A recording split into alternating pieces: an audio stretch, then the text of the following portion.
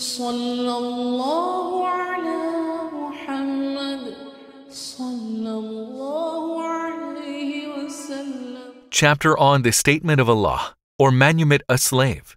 Quran, chapter 5, verse 89. And the manumission of what sort of slave is best? Narrated Abu Huraira. May Allah be pleased with him. The Prophet, peace be upon him, said, If somebody manumits a Muslim slave, Allah will save from the hellfire every part of his body for freeing the corresponding parts of the slave's body. Even his private parts will be saved from the fire because of freeing the slave's private parts.